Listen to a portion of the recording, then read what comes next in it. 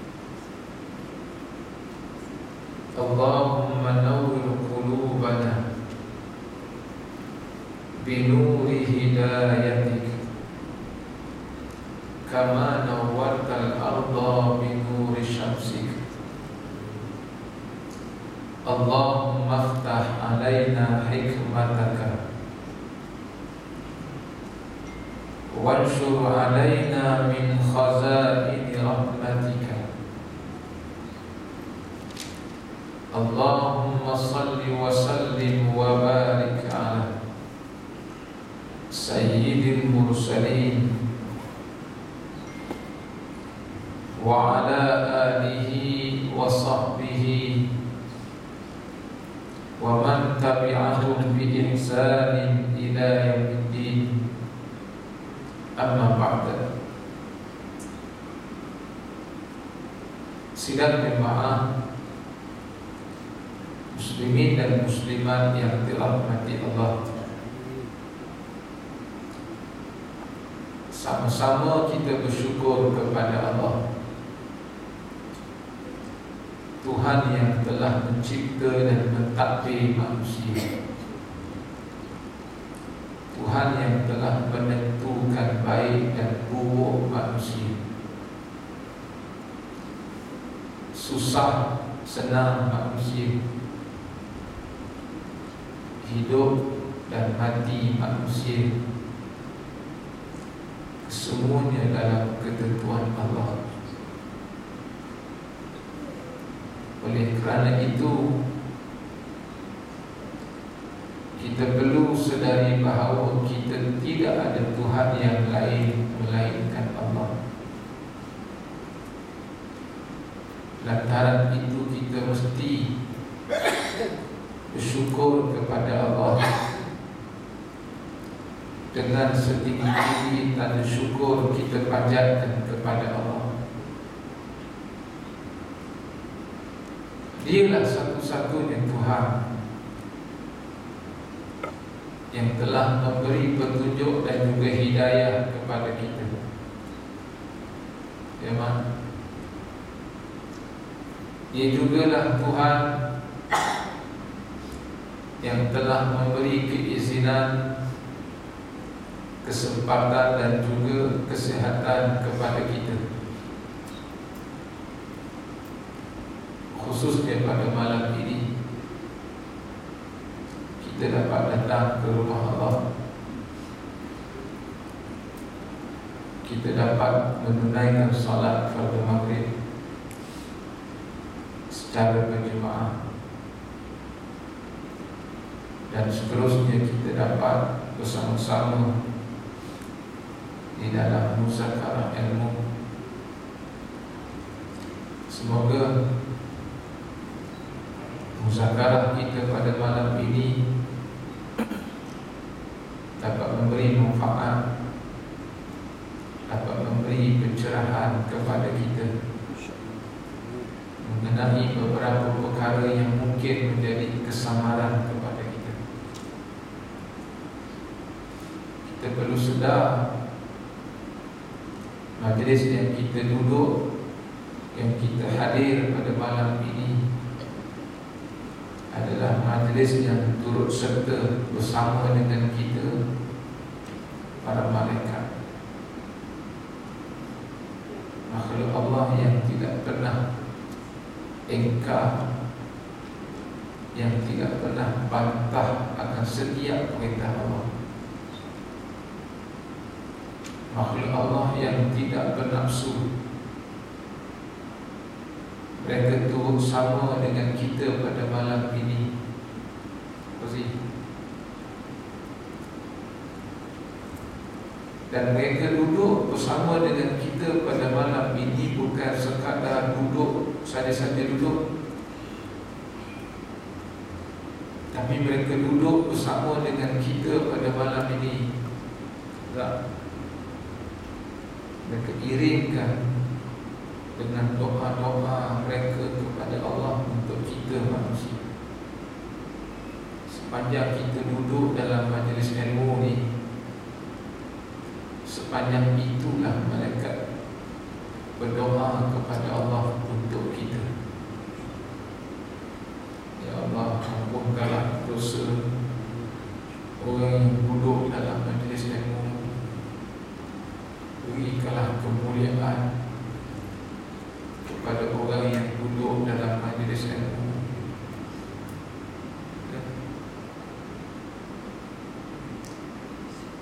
Itulah beza antara doa yang Allah bagi kepada manusia dengan doa yang Allah bagi kepada malaikat bahkan doa yang Allah bagi kepada manusia tak sama dengan doa yang Allah bagi kepada haiwan kepada binatang kepada tumbuh-tumbuhan batu-batan, kayu-kayan, bukit bukau mereka semua ni cikgu Allah bagi mereka doa. Bukan kita manusia je Allah bagi doa. See, Makhluk-makhluk itu pun Allah bagi mereka doa Masuk mereka Cuma bezanya doa yang Allah bagi kepada mereka ni Kita ambil contoh Doa yang Allah bagi kepada malaikat ni Malaikat hanya akan menggunakan doa itu dengan satu cara saja. Satu cara ni Malaikat hanya akan menggunakan doa itu Untuk mendoakan manusia. Dia tak doa untuk dia. Allah bagi dia doa Lalu dia gunakan doa itu Untuk mendoakan bagi manusia. Begitulah haiwan. Tak. Kita duduk dalam majlis ilmu ni Ikat di lautan Berdoa-doa kepada Allah Ampunkanlah dosa. Orang yang datang Orang yang duduk dalam majlis. Dalam perjalanan kita dari rumah ke surau tadi Di samping kita solat Kita ada niat Untuk Duduk dalam majlis ilmu. Sepanjang kita di dalam batu Doa Pokok-pokok Doa.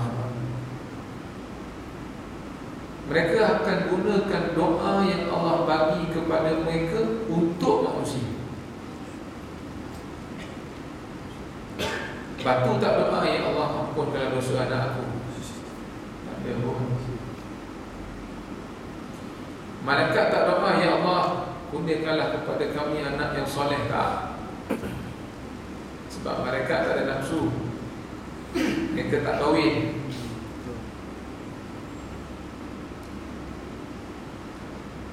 Ya, itu. Tapi beza Doa yang Allah bagi kepada manusia Manusia boleh gunakan dengan dua cara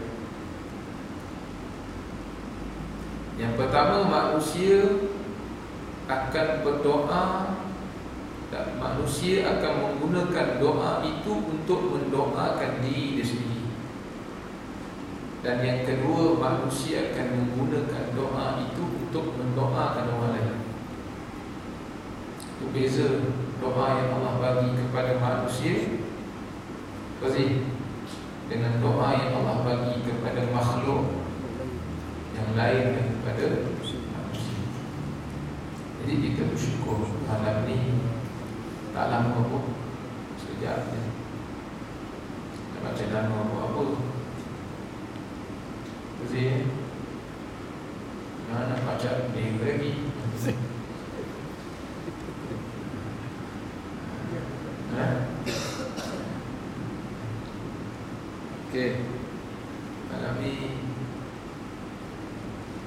Cik, cikgu ketawa macam dia macam dia sama tak? Tindakan kata tertib Oh nak, cikgu cakap tindakan tata tertib pakai nak nikah.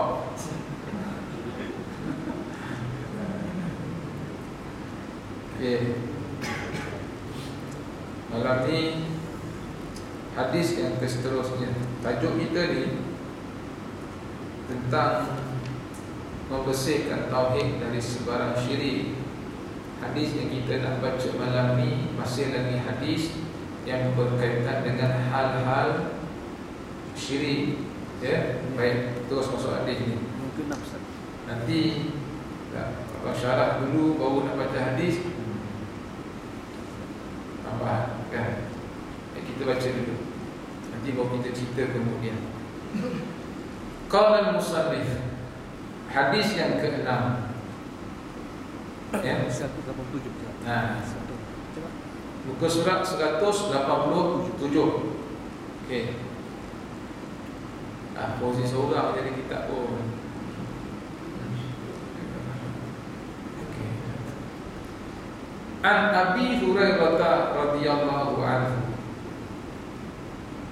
anna Rasulullah anna Rasulullah sallallahu alaihi wasallam qala ijtanibus sab'a al-mubiqat qila ya Rasulullah wa ma hunna? Qala asyirku billah. Sebenarnya ada tujuh. Tapi dia bagi satu je selain daripada zina selain daripada jauhkan diri daripada perbuatan zalim antara dia termasuk jangan melakukan syirik kepada tengok maksudnya. Hadis daripada Abu Hurairah radhiyallahu anhu. Bahawa Rasulullah sallallahu alaihi wasallam bersabda jauhkan dan singkirkanlah perkara-perkara yang membinasakan. Sahabat-sahabat baginda sallallahu alaihi wasallam bertanya Apakah dia perkara-perkara itu ya Rasulullah? Baginda sallallahu alaihi wasallam menjawab Salah satu yang terbesar di antaranya ialah melakukan syirik terhadap Allah. Kita kena cakap Na'udzubillahi min Selanjutnya dzalik.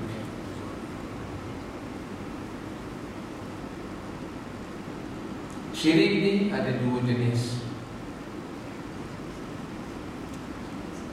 Yang pertama dinamakan syirik akbar.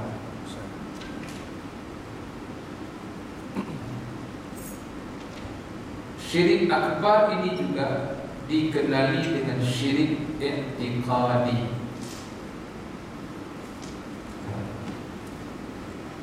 Nama lain bagi syirik akbar ialah syirik i'tiqadi.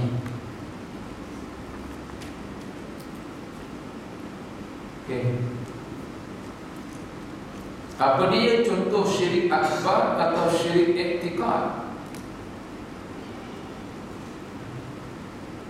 Dalam kitab sebut syirik akbar ni bukan sekadar syirik bagi orang yang menyembah berhala saja, bukan sekadar tu.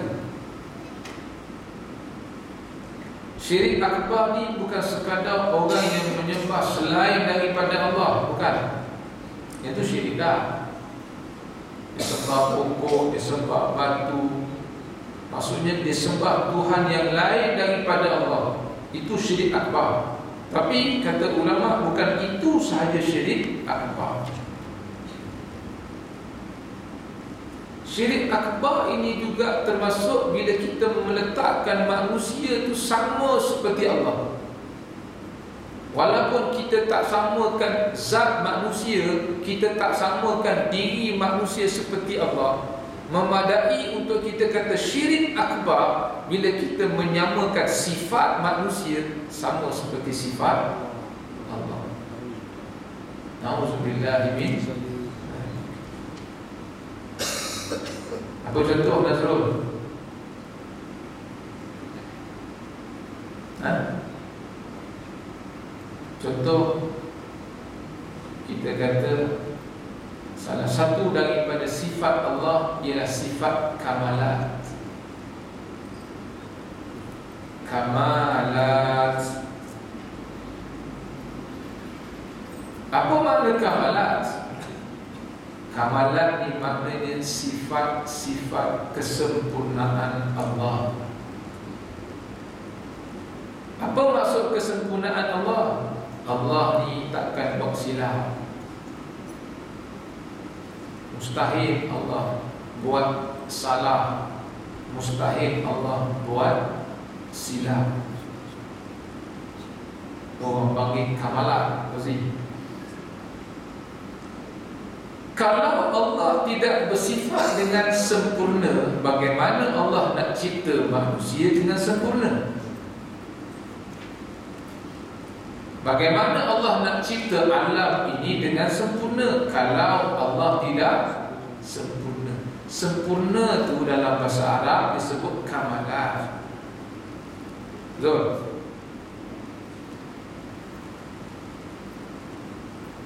Tak ada kata syirik ni.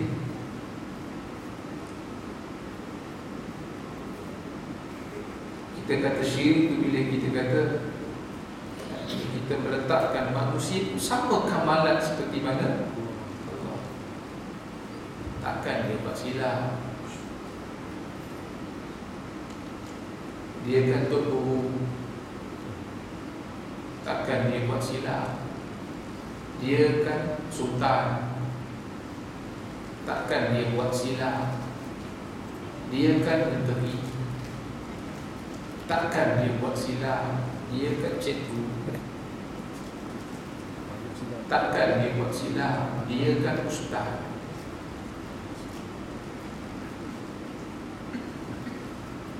Nampak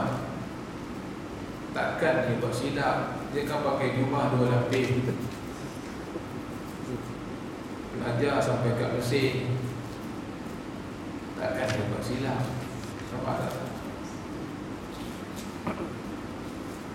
Nah, pada tu syirik orang panggil bila kita meletakkan manusia itu kamalat seperti mana kamalatnya Allah. Kita kena belajar terima hakikat. Kalau dah nama manusia tak kira siapa pun dia. Dia mesti ada buat silap punya.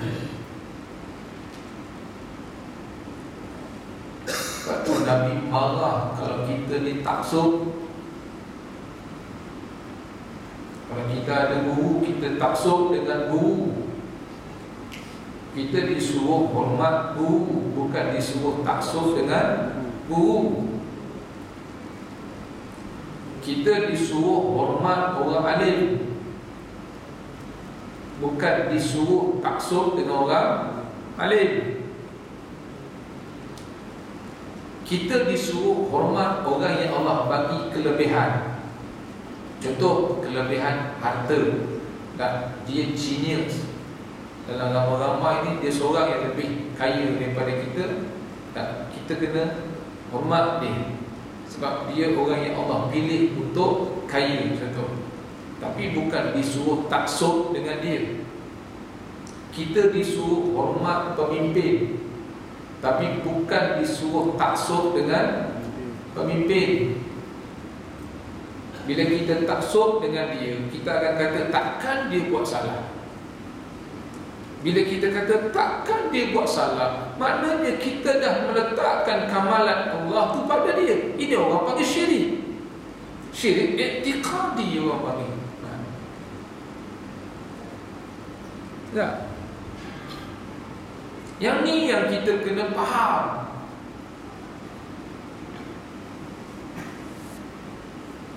Saya minta maaf. Saya sebenarnya dah lama Tak ikut Rozi Kembangan politik ni. Sungguh. Saya dah lama. Saya bawa kurma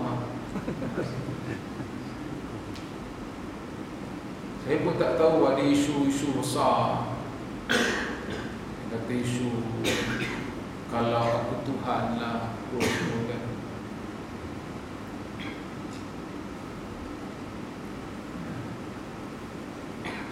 Kebetulan saya minta maaf lah.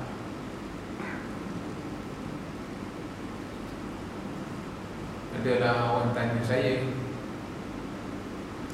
apa Ustaz punya pendapat tentang siapa kena orang tu? Dia kata kalau aku Tuhan. Kan, tak kan? Saya tahu tuan-tuan masih tak setuju dengan saya punya. Tapi Bila dia tanya saya tu Saya kena tengok dulu video tu. Video tu daripada seorang hamba Allah Dia tujukan satu ayat kepada hamba Allah. Sehinggalah hamba tu kata Kalau saya Tuhan Saya cuba untuk samakan cerita ni dengan satu cerita yang berlaku di zaman Rasulullah dulu. Kalau saya salah, saya minta maaf. Kalau mungkin saya berkhilaf dengan tuan-tuan, saya minta maaf. Tapi kebetulan ada satu cerita ni Fauzi berlaku di zaman Rasulullah dulu. Cerita ni dia bersama dengan seekor keldai dalam musafir lah dan dibawa bekalan susu air susu sebagai bekalan ni. Ketika dia berhenti berehat lalu dia punya keldai dia lari dengan susu-susu tu sekali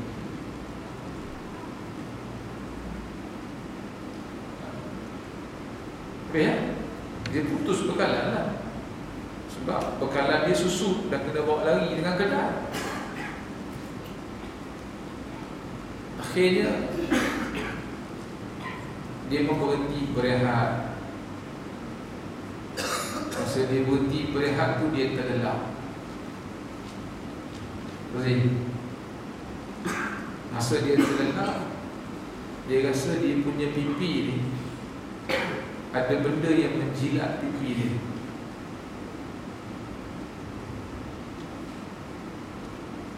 Dia buka mata tengok-tengok Dia punya kedai jilat dia punya pipi dia. Kedai yang lagi tadi tu Datang balik jumpa dia.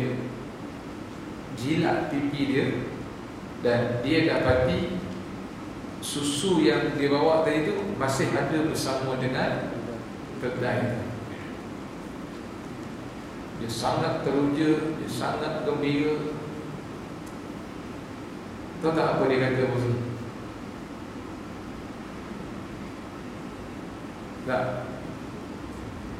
Tahu apa dia kata? Dia sangat happy. Dia kata, Ya Allah, Engkau lah hamba aku. Akulah Tuhan kau. Kan? Rasulullah bila dapat tahu cerita tu Nabi tak kata apa. Lalu ulama bincangkan hadis tu.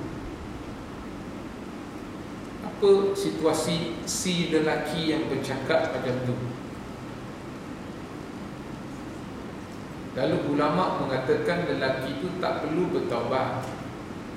Kerana ketika dia kata Ya Allah, engkau lah hamba aku dan akulah Tuhan kau Ketika dikeluarkan ucapan itu Ada karena dia. Maksudnya ada sebab dia. Apa sebab dia? Dia terlalu gembira sehingga dia tersebut perkataan Ya Allah Engkau lah hamba aku Dan akulah Tuhan kau Itu orang panggil karena sebab dia happy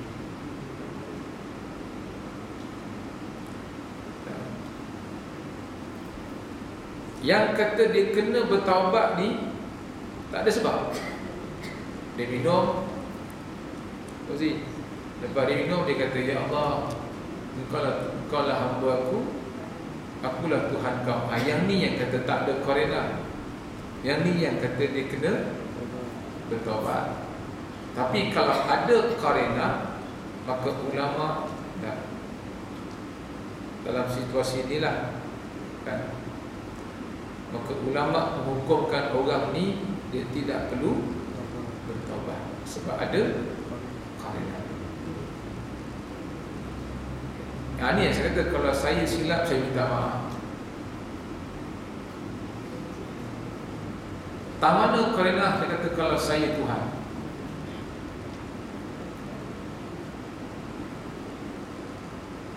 Mak Berarti di mana yang kata kalau saya Tuhan? Di mana yang kata sebab sampai dia boleh kata kalau saya Tuhan? Ha? Kan? Sebabnya apa? Sebabnya bila orang cakap kamu tu bukan Tuhan. Nah, marah tu, marah itu. Itu Korea tu. Orang provok dia kan. Cuma dalam keadaan itu sebab dia terlalu umum. Sepatutnya dia kena minta maaf. Tapi dia segi hukum Sebenarnya dia tidak perlu bertawabat Okey? Sama juga macam peristiwa Al-Halaj. Al-Halaj dia mengaku jadi Tuhan. Dia kata Allah. Lalu pemerintah zaman tu bunuh dia bila sampai kepada masa Syekh Abdul Qadir Syekh Qadir kata Kalau akan halas hidup di zaman aku Aku tak akan bunuh dia. Ditanya kenapa? Tak. Kata Syekh Qadir Al-Halas tadi dia mengaku dia Tuhan Dalam keadaan dia sedang karam dalam Ma'rifatullah Tapi pemerintah zaman itu bunuh dia Ada karena Ada sebab. Apa sebab dia? Sebab tak nak bagi fitnah ke orang awam. Takut-takut nanti ada orang awam yang sembah dia sebagai Tuhan. Sebab itulah pemerintah zaman tu bunuh dia. Pemerintah zaman tu bunuh dia bukan sebab dia sesat Sebab nak menafikan korela Sebab nak menafikan takut-takut Akan ada orang awam yang Sembah dia seperti mana? Sembah Tuhan. Okey. Cikgu. Okey Masuk syirik. Baik syirik akbar. Bila kita meletakkan kamalan Allah itu sama seperti mana? Dan kita meletakkan kamalan manusia itu sama seperti mana kamalan Allah. Kita letakkan manusia itu sempurna seperti mana sempurnanya Allah. Syirik. Dia orang panggil syirik akbar Bila sebut saja tentang ketentuan Allah ni Syirik ni Termasuk juga bila kita menafikan ketentuan-ketentuan Allah. Masih Termasuk juga dalam erti kata syirik Iktiqadi Iktiqad ni pegangan. Termasuk juga dalam perkara yang syirik iktiqadi ni Bila kita petikaikan ketentuan-ketentuan Allah yang tiga ni. Apa dia? Bila bila kita mempertikaikan ketentuan Allah tentang rezeki manusia, syirik. Dia kawan tu kaya, tu dah rezeki dia. Biarlah kawan tu hidup dia lebih senang daripada kita Dah itu rezeki dia Yang kedua bila kita petikaikan ketentuan jodoh yang Allah bagi kepada manusia. Ya. Rozi Contoh Sultan Selangor Yang kita duk sibuk petikai Duk cerita pasal dia. Kenapa? Biar dah jodoh dia kahwin dengan isteri muda. Isteri dia lagi muda daripada isteri kita. Ya dah jodoh dia Yang kita nak pening sampai tak tidur malam saya apa eh, Kenapa tak pilih aku? Apa ni? Boleh ke nak layan? Pergi kalah cerita-cerita macam tu. Tahu. Tak Alah Perempuan tu nak kata je Kenapa nak buat cerita macam tu? Kan dah jodoh Lantaklah Berapa orang bini nak kahwin Lantaklah dia Dah jodoh dia Yang kita nak petikai Macam apa? Pening nanti pening Kawan tu yang sonok Hang yang pening mah.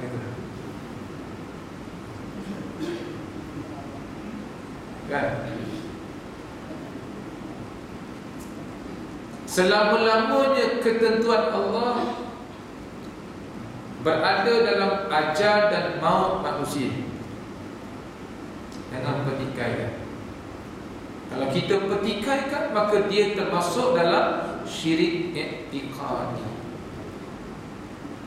Syirik itu Syirik yang kedua Syirik asgar Syirik asgar ni Syirik yang dinamakan syirik amali syirik yang berkaitan dengan amalan manusia. Apa contoh syirik yang berkaitan dengan amalan manusia? Contoh kita datang surau malam ni. Sepatutnya kita datang surau malam ni kerana Allah. Tapi kita datang surau malam ni bukan kerana Allah. Contoh Wazi, contoh. Kerana kita pengusi surau. Contoh kerana kita AJK surau. Datang surau malam ni sebab nak mengajar. Kalau tak mengajar tak datang surau. Ini namanya syirik asgar Maknanya kamu buat kebaikan bukan kerana Allah. Itu namanya syirik asgar Apa saja kebaikan yang kita buat Bila bukan kerana Allah Itu dinamakan syirik asgar Yang ni yang Nabi kata Akhwafu ma akhafu alaikum syirkul asghar. Antara perkara yang paling menakutkan aku kalau kalau kamu buat apa dia? Iaitu syirik asghar. Sahabat tanya kepada Rasulullah ya Rasulullah wa syirkul asghar? Apakah syirik asghar? Nabi kata tariyahu dan kamu buat sesuatu nak tunjuk ke orang bukan kerana Allah. Ini orang panggil syirik asghar juga dinamakan syirik amali. Okey. Ini nak mulai raya ni lagi. Okey, kita kita.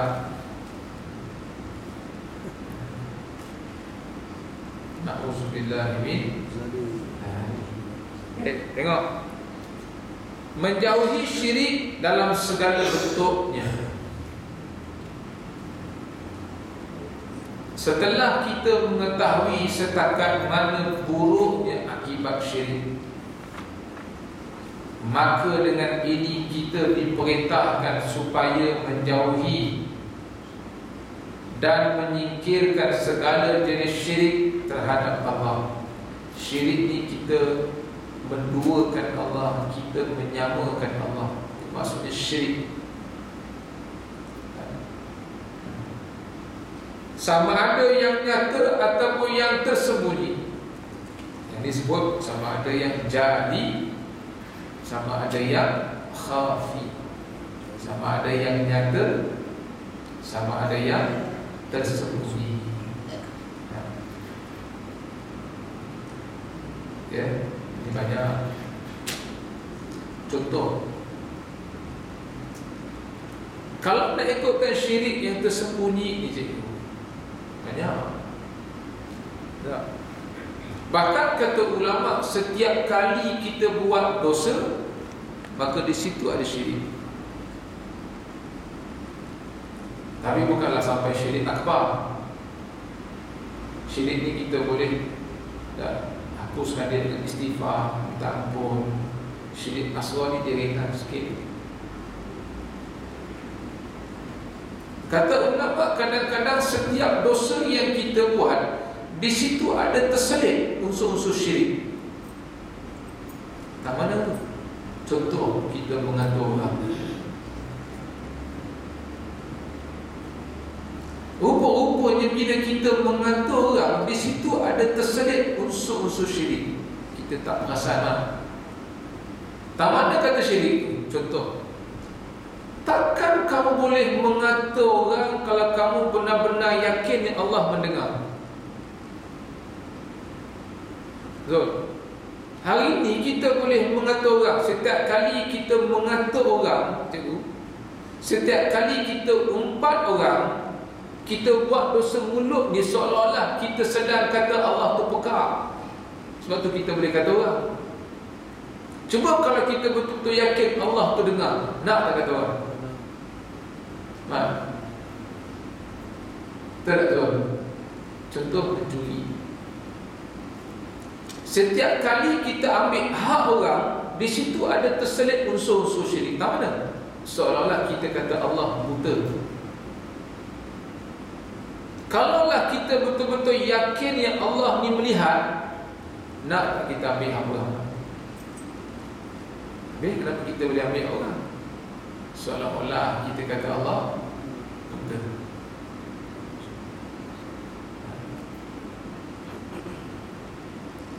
Jangan tiru orang berniaga yang tak iman ni. Dia tipu timbangan.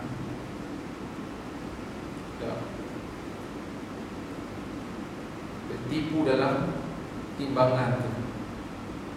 Nampak di situ seolah-olah dia sedang mengatakan ni Allah ni jahil. Seolah-olah Allah ni buta. Dia fikir bila manusia tak nampak, Allah pun tak nampak. Dia fikir bila manusia tak tahu, Allah pun tak tahu. Ha ni kata syirik ni. Ya.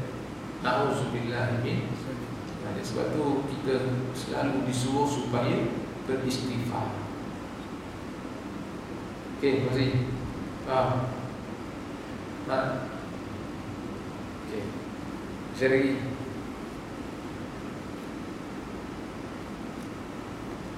Syirik yang besar atau yang nyata itu ialah mempercayai adanya sesuatu yang setara dan sebanding dengan Allah Subhanahu wa taala dan yang ditujukan kepadanya doa permohonan. Kita nak samakan manusia dengan Allah tak boleh lah. Itu yang kata kalau dia kata kalau saya Tuhan, nanti kata wajib dia bertobat. Langsung tak ada korela Itu yang kata kena taubat Ya Allah Kau lah hamba aku Aku dah Tuhan kau. Kalau tanpa Apa-apa Itu Dia samakan dia dengan Allah. Yang ni yang Nabi Sulaiman malu. Nabi Sulaiman tak ada niat pun nak samakan dia dengan Tuhan.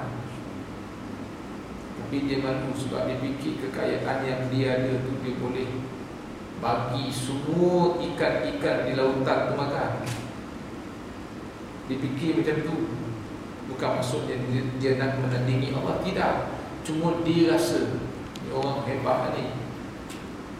Dia himpunkan punya lah banyak makanan. Dengan tujuan Konon-konon nak bagi semua hidupan laut makan. Rupa-rupanya makanan yang dihimpun punya banyak tu hanya cukup untuk seekor ikan paus saja.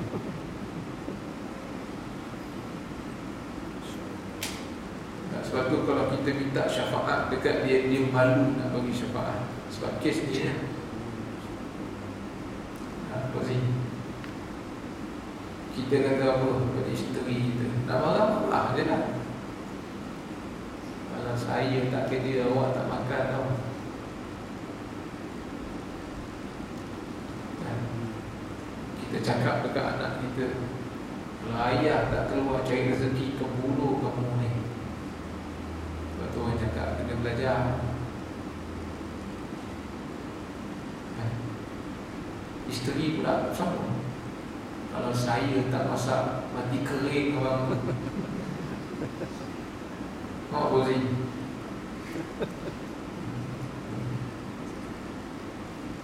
Dia ya. Jangan cakap macam tu. Kalau bukan saya Mesti surau Tak ada yang kau tu Jangan Rozi Syirik tu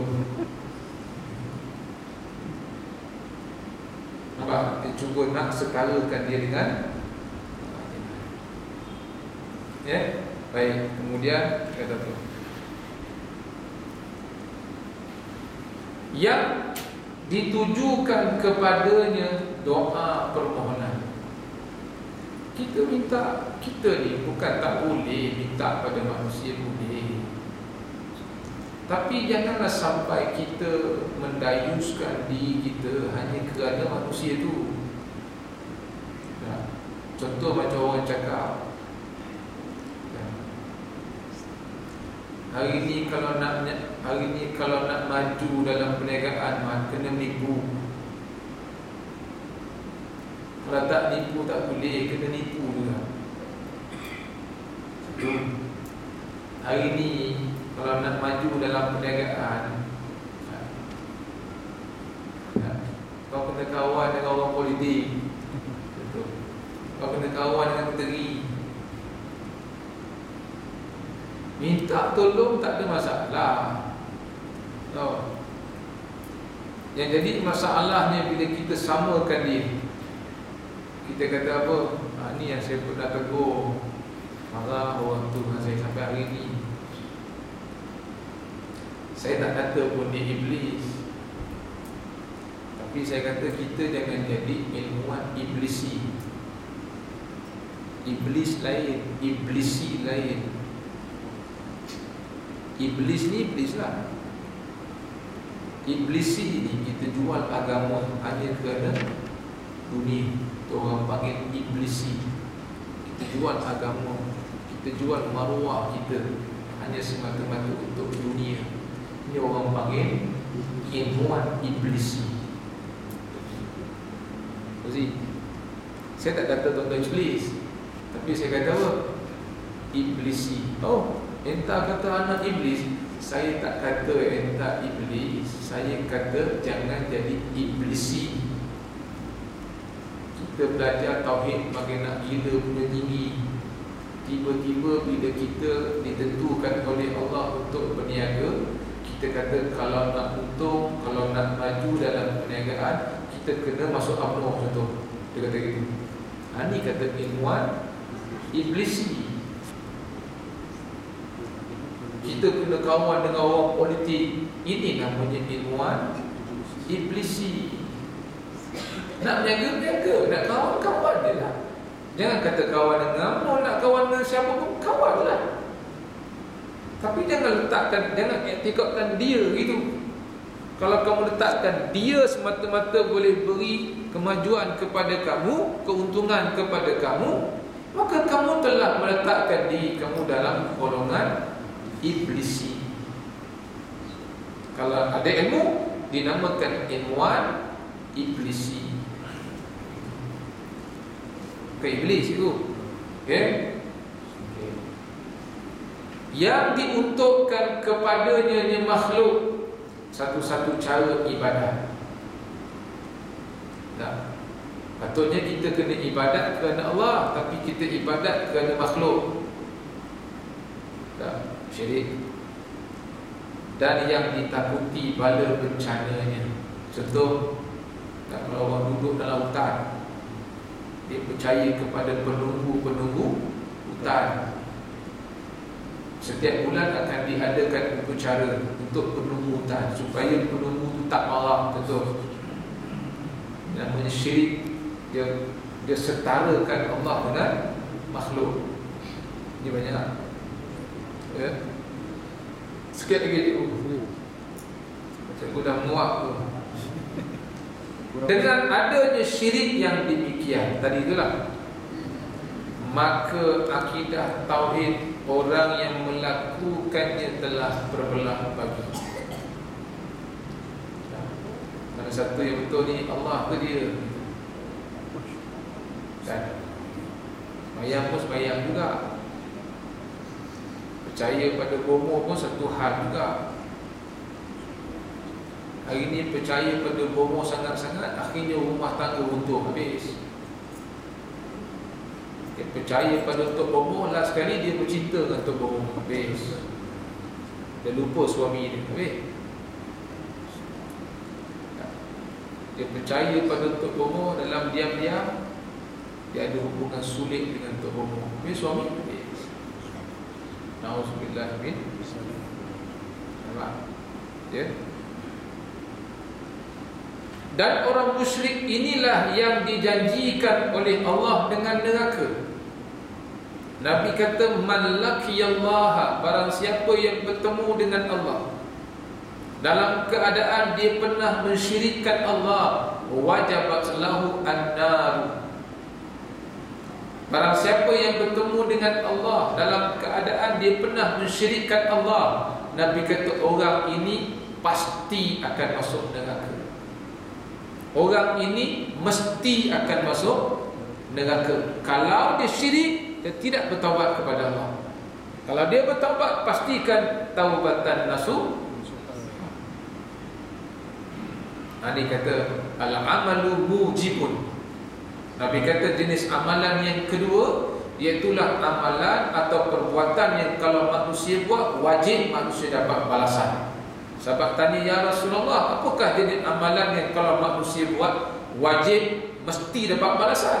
Nabi kata dua contoh. Orang yang syirik pasti neraka. Orang yang tidak pernah syirik Pasti masuk syurga.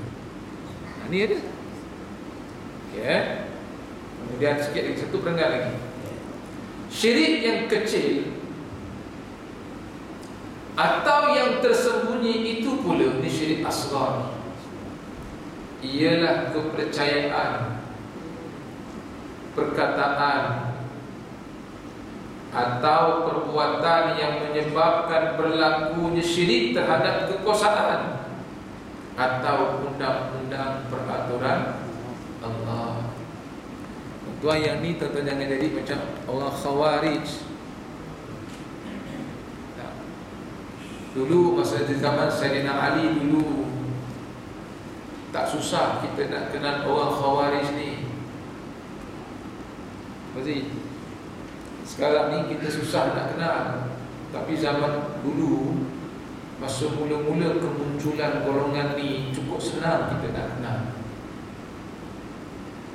Nak kenal golongan khawarij ni Mereka ada lekuk dekat mata ni Belah pakai sini Berlekuk ni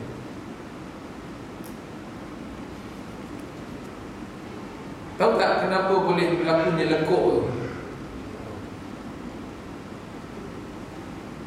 Masa mula-mula kemunculan khawarij ni ya, Kita nak kenal mereka Mereka ni ada lekuk akibat kesan daripada Hebatnya amal ibadah mereka kepada Allah.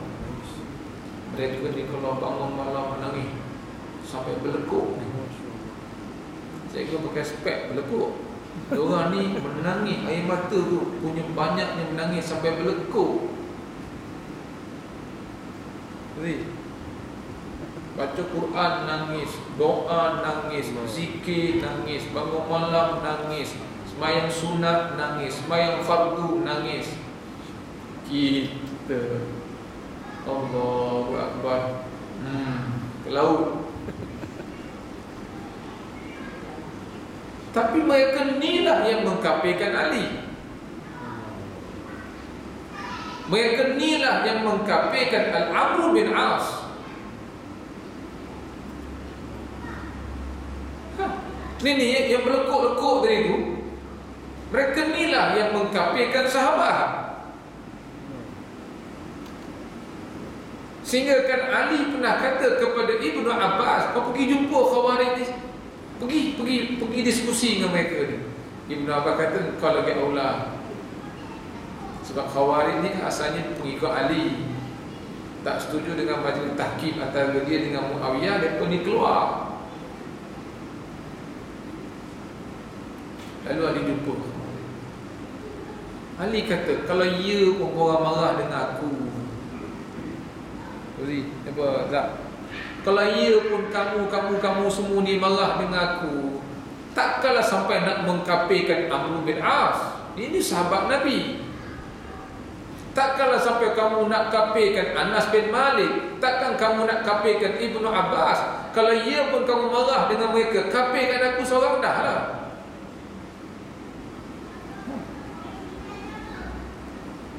Khawarij ni bila dengar kata-kata Ali Dia pun tak jawab. Tak ada modal nak jawab. Melainkan satu je Ungkapan mereka. Mereka tak ada hujah nak jawab. Melainkan satu je hujah mereka. Apa dia? Setelah Ali kata Anas bin Malik, Ibnu Abbas, Amr bin Aus Mereka ni tak pernah dikapirkan oleh Nabi. Tiba-tiba kamu mengkapirkan mereka.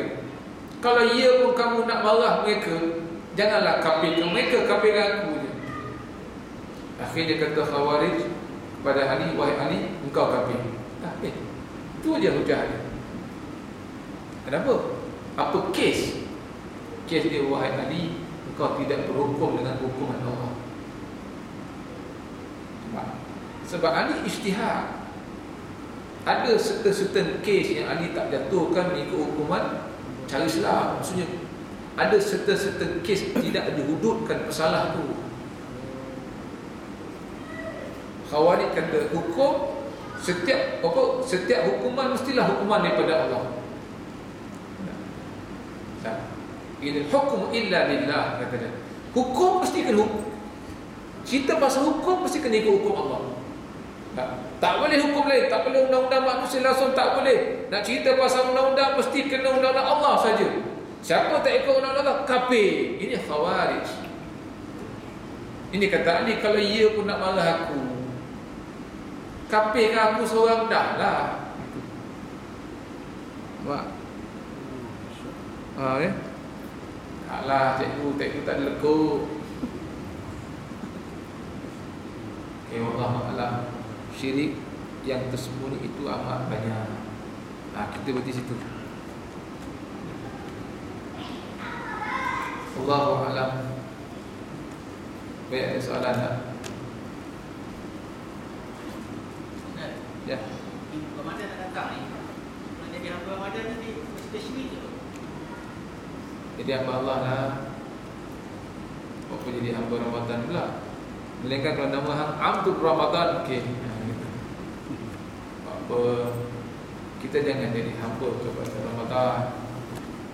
Kita jadi hamba Allah. Tapi kalau kita beramal Kerana kebesaran Ramadan Tafadhal Macam kita beramal kerana Sayyidul Ayyam Jumaat Kita berwangi-wangian Kenapa ni Nazrul? Oh, sebab hari ni hari Jumaat Eh tak pernah-pernah wangi ni Oh saya wangi sebab hari ni kebesaran Jumaat nak dapat pahala. Eh saya nak jadi hamba Jumaat. Ha, ni tak boleh. Tapi kerana kebesaran dia, kerana fadilat dia tafadhal. Ya. Ramadan. Ya. Antara bulan yang paling banyak fadilat dia. Lalu kita beramal kerana kelebihan Ramadan. Sebab Ramadan ni ada kelebihan dia. Kita tingkatkan amalan kita tak apa. Tak. Itu pun sebenarnya kalau kita tengok orang hakikat tak boleh Orang hakikat tak mahu itu Tapi kita ni orang syariat ni Okey lah Bila masuk Ramadan kita rajin okey Tapi kalau orang hakikat tak mahu hmm, Ini semua jadi hamba Ramadan Ni kata orang hakikat lah tapi kita ni kalau dahaga minum air, lapar, cari nasi, tak payah cerita pasal hakikat lah. Dia kalau lapar pegang zikir, pegang, pegang tasbih Allah, Allah, Allah, hilang lapar. Okey, boleh cerita. Rasa nak minum, kita tak cari air, kita cari tasbih. Allah, Allah, Allah. Hilang dahaga. Okey, boleh kita sembah pasal hakikat. Sembah pasal hakikat tengok tu kedai mamak. Hmm, bohong lah. Okey. Boleh nak suruh dah? Ha? Tak boleh tak? Dah cikgu eh Muslimat boleh Baik Allah Alam Mudah-mudahan Allah juga yang bagi kita faham Saya rasa kita jumpa pilihan raya nanti dah lima Ha? Apa sih? Sempat ke? Ha? Pilihan raya, pilihan raya Bulan depan pilihan raya kan? Bulan depan, bulan lima Kata bulan lima. Sebelum sebelum puasa. Sebelum puasa. Lah Ha, bulan lima Anda tahu nanti tukar pengusi habis. Jangan, jangan. InsyaAllah kita Baik kita tangguh majlis dengan tasbih kafarah dan suratul